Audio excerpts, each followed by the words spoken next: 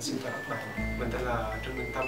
Thì mình đã có kết quả visa đậu vào ngày 3 tháng 11 à, sau khi uh, tốt nghiệp cấp 3 thì mình đã quyết định là không học đại học và mình ôn thi IELTS để cho mình có thể làm uh, hồ sơ du học Canada theo diện CIS à, thì sau khi uh, đã có kết quả visa thì mình đã nộp hồ sơ đi xin du học Canada. Và trường mình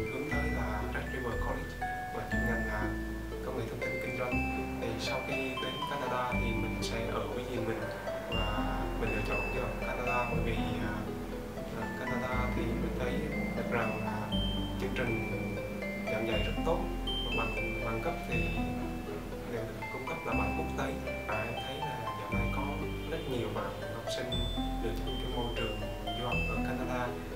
Trong quá trình làm hồ sơ thì uh, mình đã nhận được sự trợ giúp của công ty du học Tân Tân Đại Dương biệt là chị uh, Thúy đã giúp đỡ mình rất nhiều trong lúc làm hồ sơ. Thì uh, làm hồ sơ thì tất nhiên nhiên là sẽ gặp rất nhiều trục trặc và sự giúp đỡ của chị Thúy thì rất là quan trọng.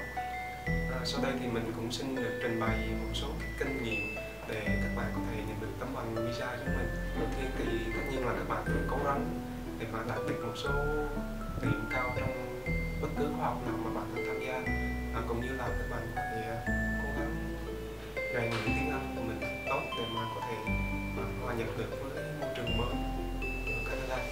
Và chúc các bạn thành công